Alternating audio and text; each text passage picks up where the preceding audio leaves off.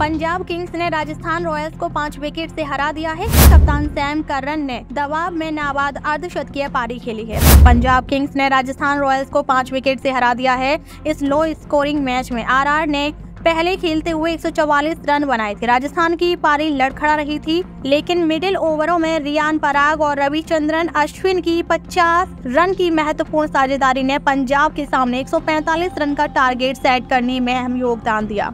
लक्ष्य का पीछा करने उतरी पंजाब के लिए सबसे ज़्यादा रन कप्तान सैम करन ने बनाए, जिनके बल्ले से इकतालीस गेंद में तिरसठ रन की पारी निकली। इस दौरान उन्होंने पाँच चौके और तीन छक्के भी लगाया उनकी जितेश शर्मा के साथ तिरसठ रन की पार्टनरशिप हुई, जिन्होंने 20 गेंद में 22 रन बनाए। आरआर की ओर से आवेश खान और युजवेंद्र चहल ने दो दो विकेट लिए। ये आईपीएल 2024 में राजस्थान रॉयल्स की लगातार चौथी हार रही। 145 रन का स्कोर देखने में छोटा लगता है, लेकिन कठिन पिच पर पंजाब किंग्स के लिए इस लक्ष्य को हासिल कर पाना आसान नहीं था।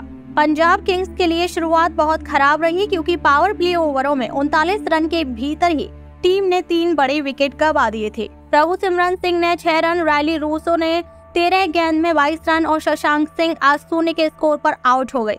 इस बीच जॉनी वेरस्टो ने 22 गेंद में 14 रन की बहुत धीमी पारी खेली। मिडिल ओवरों में कप्तान सैम करन और जितेश शर्मा के बीच तिरसठ रन की साझेदारी हुई, जिसके दम पर पंजाब ने 15 ओवरों में 103 रन बना लिए थे। पंजाब को आखिरी पाँच ओवरों में जीत के लिए 42 रनों की ज़रूरत थी। इस बीच सोलहवें ओवर में यजुवेंद्र चहल ने जितेश शर्मा को 22 रन के स्कोर पर आउट कर पंजाब को तगड़ा झटका दिया। अठारहवें ओवर में सैम करन ने अड़तीस गेंद में फिफ्टी पूरी की। आखिर दो ओवर में टीम को मात्र पंद्रह रन चाहिए थे। करण के अलावा आशुतोष शर्मा अभी क्रीज पर डटे थे। उन्नीसवी ओवर में आवेश खान दो छक्के खा बैठे, जिससे पंजाब किंग्स ने पाँच विकेट से इस मैच को जीत लिया है।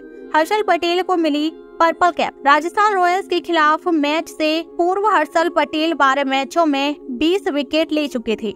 अब आरआर के खिलाफ मैच में दो विकेट लेकर वो पर्पल कैप की रेस में सबसे ऊपर आ गए हैं। उनके नाम अब सीज़न में 22 विकेट हैं और उनके बाद दूसरे स्थान पर मुंबई इंडियंस के जसप्रीत बुमराह है। बुमराह अभी तक आईपीएल 2024 में 20 विकेट चटका चुके हैं।